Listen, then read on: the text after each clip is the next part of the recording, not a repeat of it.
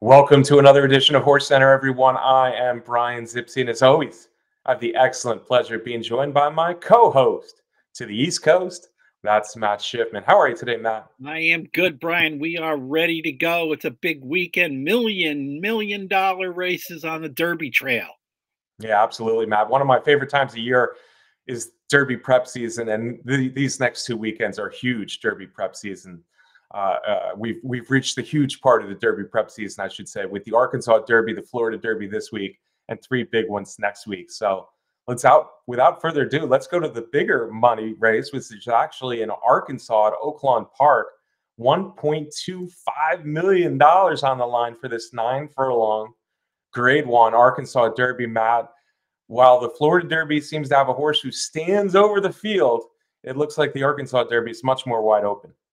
Yeah, I agree with that, Brian, for sure. If you take a look at the Derby points that the horses in the Arkansas Derby field have earned, we got three horses that currently sit in the top 20 of points, three horses that have enough points in most years that will get them into the field. So we got some some horses that have a lot of points, but we got a bunch of horses that do not have a lot of points.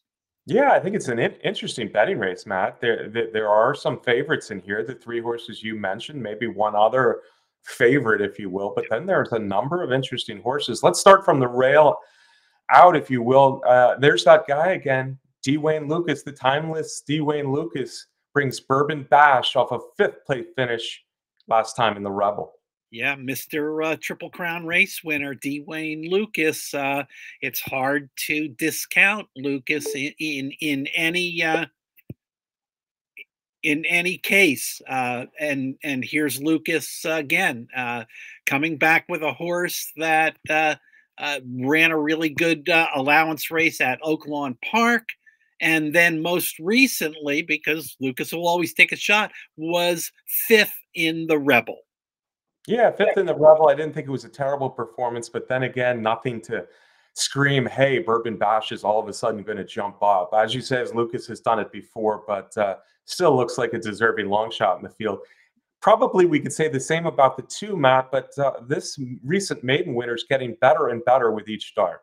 Yeah, absolutely. A son of uh, Classic Empire, and and boy, we're seeing more and more of those Classic Empire horses. We got a couple uh, of them in this field. Yeah, it, it took four tries for uh, this McPeek runner to break his maiden, but he did it nicely at, at Oaklawn Park. Yeah, he he really rolled from well back in that race. He's a uh, a late uh, runner for sure, and that was a pretty impressive maiden win over a horse who had run some decent maiden races before. So Interlock Empire might be getting good for trainer Kenny McPeek.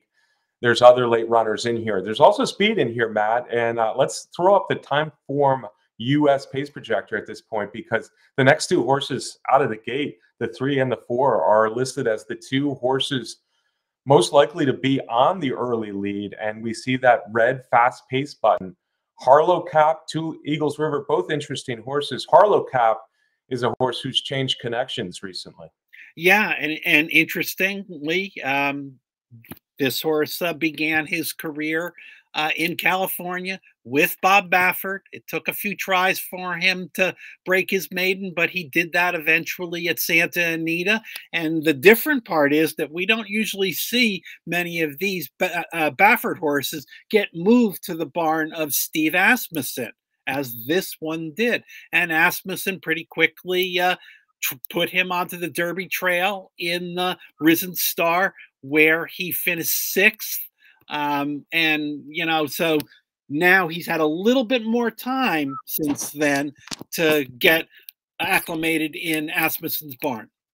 Yeah, and I also will say the Risen Star was a race where all the top finishers came from off the pace. Harlocap pressed the pace, actually got the lead for a bit in there. He certainly could improve second start for his new trainer, Steve Asmussen. But the other speed is right outside him, two Eagles River, a, a, an interesting horse, Matt, who's coming off a very nice win, although it wasn't in stakes company last time. Yeah, and and and an interesting horse because if you go back to uh, his uh, two-year-old campaign, he won his first. He won at first asking for trainer Chris Hartman at Churchill Downs, and uh, and now coming back uh, in February had a really nice allowance victory at Oaklawn Park also. Yeah, yeah. In fact, if you look at his form, it's it's very good throughout. Uh, maybe the one two starts ago where he finished third was a little disappointing, but I think he had some trouble at the start in that one. Last time, not only did he win a nice allowance race, uh, looking good doing it, but the horse he beat, of course, was Disarm. Disarm moved forward and ran second last week in the uh, Louisiana Derby. So that's something to think about with two Eagles River, uh, a horse who looks to want the lead in here. And uh, again, Harlocap is another one that could be out there. Then you have a real wild card, number five, Matt Airtime. Airtime is one of those Diodoro horses. Uh, people who who watch uh, Robertino Diodoro during the year know what I'm talking about because a lot of his horses will show improvement when they come to the barn. And airtime is no different, Matt. In fact, his last two races look pretty good. His last two races make me think that he is a candidate for an upset here in the Arkansas Derby. Yeah, an interesting horse. And, and you mentioned the last two races, two races back. Uh, he was uh, running in a claiming race, and he was taken out of that race by Diodoro back in uh, January, and that was a race that he won by 10 lengths. You might say, okay, that was a claimer. Yes, it yes it was. But since then, he's come back and won an allowance uh, the following month uh, for Diodoro. Yeah, and the allowance horse he beat with uh, with some authority at least as he got through on the rail was Shopper's Revenge, and Shopper's Revenge, another lightly uh, raced horse who ran a pretty good race last week in the Louisiana Derby. He was fourth, so airtime, one to watch here. One of the favorites, finally, we get to is Angel of Empire, Matt. And, and as I look back at the Timeform US pace projector, you'll see some of the favorites are back off the early lead. Angel of Empire being one of them, the sixth. He's coming off a nice win. Uh, that was at the fairgrounds where he actually won the race. We've talked a little bit about the Risen Star rallied to win that for trainer Brad Cox. Two races back, he was at Oaklawn Park. Yeah, he certainly was. He was at Oaklawn Park, uh, you know, back in the beginning of the Derby Trail races for uh, 2023 and had a nice second in the Smarty Jones, has obviously progressed nicely to get that win in the Risen Star at a different racetrack and already has 54 Derby points. So he's got a spot locked up in the field.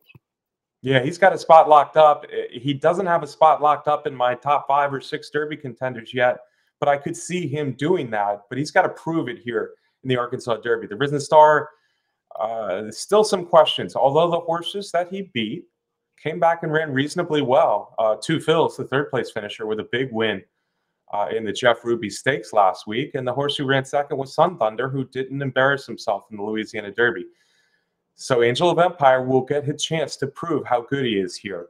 Uh, another horse who will be uh, among the favorites is Bill Mott's Rocket Can, Matt, and he's coming off a couple of graded stakes at Gulfstream Park. Yeah, he's been on the Derby Trail at Gulfstream Park. Um, got 40 Derby points by way of a win in the Holy Bull a very nice win in the Holy Bull for Bill Mott. And then he came right back in the next stop uh, in the Fountain of Youth, finishing second. Well, you know, when you say you finished second to Forte, uh, that's pretty much a feather in your cap considering you beat the rest of the field. And Forte right now is way, way, way the favorite in Las Vegas futures in the upcoming Kentucky Derby future wager pool six for this year's Kentucky Derby. Yeah, this is uh, this is a bit of a test to see where Forte stands, if you will. The Arkansas Derby will be run after the Florida Derby, so take that for what it's worth. But the um, uh, if Forte is head and shoulders above the rest of these horses looking to go to the Kentucky Derby. Maybe we take Rocket Can's second place finish last time in the Fountain Youth as a very good performance. On the other hand, if Forte is more just uh, at the top of the class now, but not a big edge, the fact that Rocket Can was well beaten by Forte, maybe that won't translate well to his Arkansas Derby form. Uh, the morning line favorite. I wasn't sure who would be the morning line favorite, but I, I, think they might have the right horse in reincarnate, even though he was third last time in the Rebel, Matt. He had a lot of trouble in that last race. Yeah, he sure did. And, and you know, taking that into consideration and taking into consideration that this guy is one of the Bafferts uh, um, that uh, the beginning of his career. Um, when he started out, he had a series of second place finishes, got his maiden victory, eventually won the sham, but had to forfeit the points because he was still running for Baffert. And as we have come to expect, this one was transferred to the barn of Tim Yakteen, and he put him in the Rebel and reincarnate as a horse. It's a bat. He's a Baffert. Prefers to be more forwardly placed. He got out of the gate just absolutely horribly in that race, and then had more trouble later on. So it was a pretty good accomplishment to get third uh, that day uh, in the Rebel. Yeah, you see him there on the Timeform US Pace Projector one more time, uh, pretty close to the lead, and that's where he's shown he prefers to be, as you alluded to in in several races in California. He was getting better and better. He had a nice win in the Sham, and I think it was a pretty awful trip on an awful track. Now his sire is good magic, and it looks like they're running on off tracks, but this horse looks like a horse who could run on anything. He's run well on turf, fast tracks, and sloppy tracks now. And yeah, bad start, rallied nicely, had more trouble in the stretch, was really running well uh, down the lane, went third in the Rebel. So he is a very interesting horse, assuming he's closer to the lead here than he was last time in the Rebel. Number nine, Matt, is another one of those long shots that I actually think has a shot. I know he's only coming out of a maiden race, but King Russell impressed me. I, I was down there for that Rebel Stakes day, and he won a maiden race that I thought was good he's the on a creative cause, and it, he just looks like a horse who really wants a distance. I like the way he's been getting better and finishing his races of late. Yeah, uh, and that certainly is a positive, and and the fact that it took him five tries to break his maiden is probably going to be a reason that you're going to get a pretty nice price on this horse.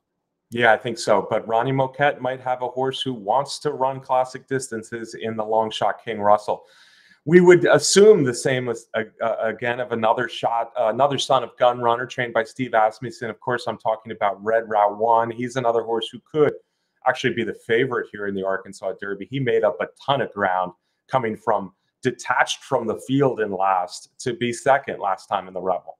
Yes, this is what we would call a legitimate deep closer, um, and, and, he's used that style to run well on the Derby Trail. Two second place finishes uh, at Oaklawn Park in the Southwest, in the Rebel, and and it is absolutely important to note in this race that he's getting the blinkers on, Brian, and and why not try that at this point? He's got 33 points already, probably enough to get into the Derby field. So Asmussen saying, I'm going to put the blinkers on. I assume hoping that he won't get quite as far behind, but I like his strategy. This is a great spot in which to try the blinkers. Yeah, and, and we were talking about that Timeform US pace projector before, and it, it showed a fast pace.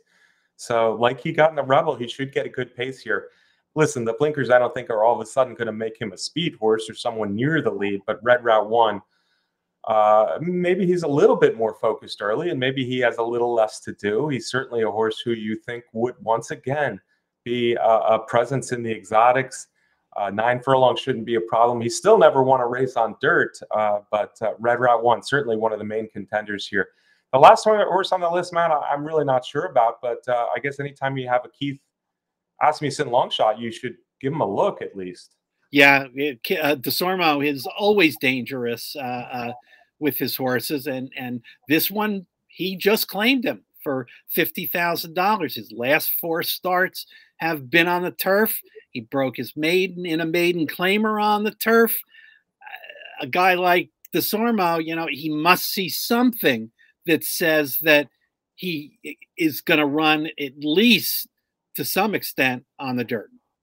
Yeah, and he's got some nice workouts on the dirt, but uh, boy, uh, cheaper races on the turf, it's it's hard to pick him out for any other reason maybe than the workouts being decent and and the trainer. All right, that's the feel for the Arkansas Derby, Matt. Let's jump right in. Uh, we got a lot of horses to look at in Florida as well. And uh, of course, the horse that we're going to start with is number 11, Forte. Pletcher complained a little bit when he saw Forte draw the 11 post in the nine furlong Florida Derby. Yeah, and it certainly has been a topic of discussion since the since the draw. Uh, um, the the Florida Derby has an interesting field of 12, four of four long shots in the race from the barn of Saffie Joseph. Uh, Forte comes into the race with 90 Derby points already, Brian. But the rest of the field combined, Brian, has only 48 Derby points. Yeah, that's that's good math there, Matt. And and yeah, it, the 11 was a point of. Uh, a talking point after the draw for the $1 million nine furlong Florida Derby on Saturday. But another talking point probably is who the heck else is in this field because it really is Forte and everybody else of the uh, 11 other horses. You mentioned Saffie Joseph with four long shots. There's there's really 11 other horses who who you could almost call a long shot. It says four to five on the morning line for Forte, Matt. I don't think you're going to get four to five here in the Florida Derby on the two year old champion who's already won uh, four graded stakes, three grade ones, and looked so good last month in the Fountain of Youth. Forte, the horse to beat. Uh, Pletcher says it's no advantage to be parked outside in the post, going two turns at Gulfstream Park. Here is the track trends from Horse Racing Nation. The last 55 races. You see, the average number of runners is only 7.4, big difference than the 12 we'll see here in the Florida Derby. But uh, you don't see a lot of horses coming from the outside winning at Gulfstream in these two turn races. Yeah, Brian. But you know what?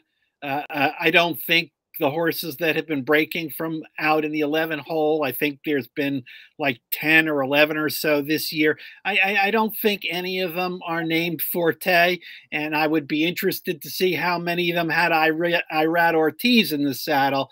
I'm not concerned about the 11 post position at all.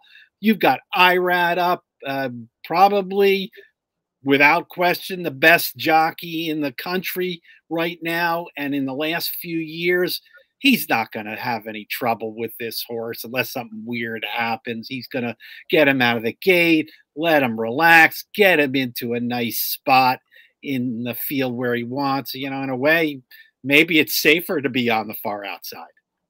Yeah, I, I, kind of agree with you, Matt. I think the 11 hole won't be bad at all. There is some speed in this race, and he should be able to kind of move over a little bit in mid pack and get a nice spot heading into the first turn. His owner, Mike Repole, one of his owners, Mike Repole, also said, "This is a, this is education. We want to win the Kentucky Derby, so this big field with an outside post will help uh, Forte learn a little bit more as he gets ready for the big one on the first Saturday in May." Who else, Matt? We know Forte is uh, the big favorite, the, the, the class of the race. Uh, the second choice is right inside him. In fact, the second and third choices sandwich him on the outside in this 12 horse field. Fort Bragg is a pretty interesting horse. Um, uh, another one that came from the, uh, the, the Baffert barn. He won a couple of nice races uh, last year, beating at least beating good horses. He he beat Practical Move. He was taken down for bothering him, but he finished ahead of Practical Move. He also beat Reincarnate. Uh, since he's moved to graded stakes, though, it hasn't been quite as much success for the son of Tapit. Yeah, that's for sure, Brian. Uh, when he was with Baffert, he ran in the Los Al Futurity, which had a a field of five, I think it was, four of them Bafferts and and one of them for uh, Tim Yakteen with uh, with a Tim Yakteen, his own uh, horse, who we we certainly know about, uh, um, and, and he ran third in that uh, in that Los Al Futurity. And since moving to the barn of Yakteen, he stayed in California and was in the San Felipe and finished fifth. Yeah, that that's not promising. But on the other hand, I look at this field and I, and, and I say, who's better than Fort Bragg or who is better than those stakes losses to Practical Move? And to tell you the truth, Matt, I have a hard time coming up with a horse or multiple horses after Forte that would have done any better than Fort Bragg did in those races. So he's a horse I don't really want to like. But on the other hand, he kind of looks pretty good if you're handicapping everybody else other than Forte in this field. Uh, speaking of everybody else in Fort, uh, other than Forte, there, there's your old friend uh, Dubyuhnell uh, on the far outside, a, a, grade two winner as its two year old at the distance, Matt, at the distance. Uh, but he's only made one start this year, and it wasn't very good. No, it sure wasn't. Uh, uh his victory in the Remsen um, at Aqueduct, going a mile and an eighth on that deep, tiring track uh, uh, at Aqueduct, was, was certainly noteworthy, but not so much at this point after that uh, eighth place finish in the Sam F. Davis.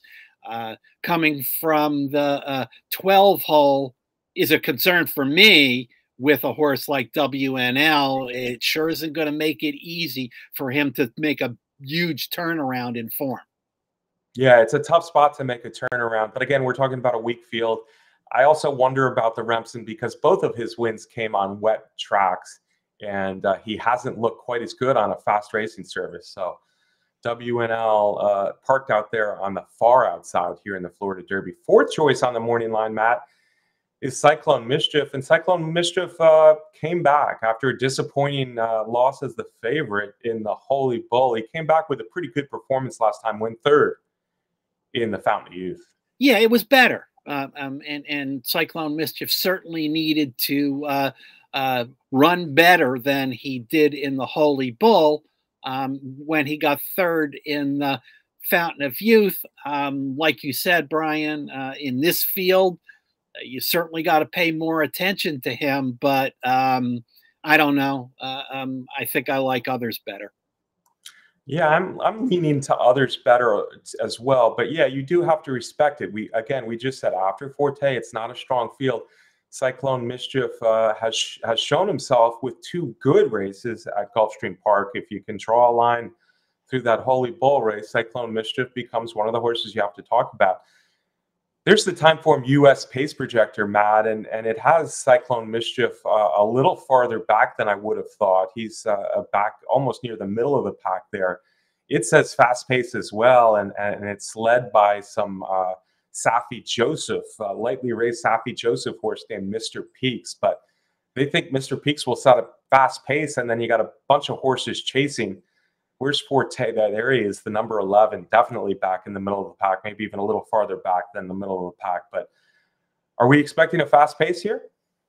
Um, you know, I think we're expecting a fast pace, but you know, it, it the the five horse is one of those long shots that we were mentioning from the barn of Saffie Joseph, and Saffie, of course, is never shy about letting horses run and run fast. Yeah, okay, he might be out on the lead, but I don't know. That's not a very strong pace setter, not the kind that I expect to be around in the coming down the stretch. Yeah, you hit the nail on the head, Matt. I, I, think we could use the words cheap early speed here when we're talking about Mr. Peaks, who's still a maiden. He's he's got some promise. He's run a couple of good six furlong sprints and he showed a lot of speed, but how the heck is he going to stick around in the Florida Derby? I'm not sure why he's in the field, honestly. But if he uh, sets down some fractions, he's kind of the pace setter of the field. Uh, there you see Fort Bragg on the outside, not too far off the early lead. Mr. Ripple, who I think is a more promising, at least Florida Derby contender for Saffie Joseph is is also close. And then uh, the horse on the rail, Matt. This is actually the horse I like second best in here. His name is Mage. Uh, only two starts for trainer Gustavo Delgado, but uh, a nice maiden win. And then, all things considered, I think his fourth in the Fountain of Youth is pretty good. Yeah, now we're talking about a horse that uh, that has speed, Use that speed to be an impressive debut winner at Gulfstream Park by almost fourth by almost four lengths. Use that speed in only his second start, making that big jump from a maiden win into onto the Derby Trail to finish fourth in the uh, Fountain of Youth.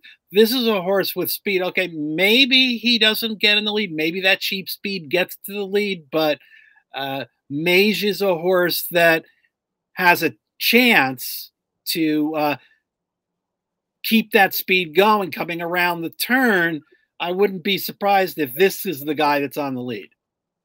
Yeah, I, I agree with you. And, and, like I already said, he's the horse I like second best in the race. He's the horse I think who could turn out to be a really nice horse uh, uh, after Forte from this Florida Derby field. Mage was impressive as a maiden winner. He didn't have a kind of reincarnate rebel trip. It wasn't that bad, but it wasn't good either for a horse moving up to graded stakes company, moving to two turns for the first time. And he was also finishing well in that Fountain Youth went fourth. So I think Mage is the horse that Forte ultimately has to beat, Matt. But uh, as we're looking at this field one last time, I, I just don't know what else. We talked we talked about the the uh, Saffie Joseph horses. West Coast Cowboy may be the most accomplished, coming off a third in the in the Holy Bull, but I, I didn't really love that performance either. Uh, Nautical Star is an Oklahoma bred with uh, similar experience to Mr. Peaks, although he can rally a little bit. Il Miracolo is a long shot we've seen a bunch. Shack Diesel, another long shot that we've seen a bunch. Jungfrau got some money in the Withers, but really didn't run in the Withers at all. Yeah, absolutely. Uh, I think it's uh, as we said, it, it's Forte and it's Forte's race to win. Um, Mage uh, listed at ten to one on the morning line. I don't know, Brian. I don't think we're going to get eight to one on. Uh, sorry, I don't think we're going to get ten to one on Mage. Yeah, we might not get ten to one, but remember, I, I, I think Forte might be closer to two to five than four to five. So everybody else is going to uh, be a little higher than you see on the morning line, or most of them will be. But yeah, I think Mage won't be the what would that be the fifth choice yeah. as he's listed on the morning line. All right, so we agree on Mage as uh, probably the most likely horse to give Forte a race in the Florida Derby. But it's time to make top picks now, sir. I know you've got some opinions. Let's start with the Arkansas Derby first, and you have the honor, sir. Okay, absolutely. Uh, yeah, Brian. You know, I, th- I think that uh, the Arkansas Derby, uh, the the horses that have the most Derby points. Uh, that reflects that they have performed well in the top races in the, on the Derby Trail. They've got a class edge uh, over uh, most of the field, and, and, out of those horses, three, four horses, if you throw reincarnate in there, um, I'm going to lead toward Rocket Can, um, and and mostly because I think we'll get a little bit of a better price on Rocket Can than certainly we'll get on uh, uh, Reincarnate for Baffert slash Yakteen and, and Angel of Empire uh, for Brad Cox. Uh, Bill Mott horses have a tendency to get overlooked sometimes. So um, I liked his Holy Bull win, second to Forte. Um, I'm going to go with Rocket Can. Yeah, Rocket Can is an interesting horse. He's got some tactical speed. He was between horses last time, and he was definitely uh, he, he, was able to get second behind uh, the champion Forte. Um, I don't like him best in here, but he's certainly one of the horses you have to look at.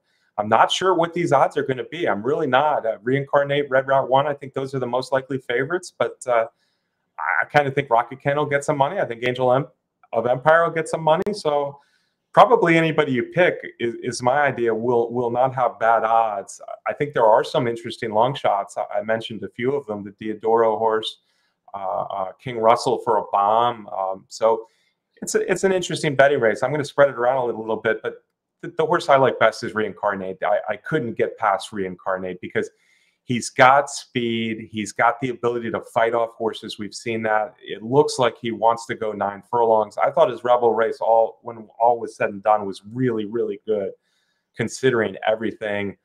I think Reincarnate just is, uh, for me, clearly the most likely winner. So I had to pick him on top, even though he might be the favorite.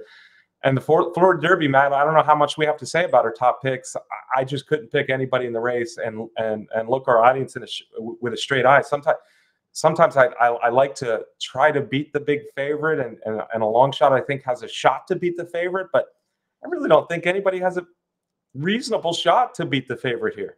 I don't either, Brian. I and I agree with you completely. Uh, right now, um, it, it's hard to find any reason to knock Forte. Uh, four wins in a row, three of them were grade ones going back to the end of a fantastic two year old campaign. Came right back in the fountain of youth, picked up right where he left off. Um, and maybe even looking better and stronger as a three year old. Um, it's his race to win right out of the gate, um, all the way around the track.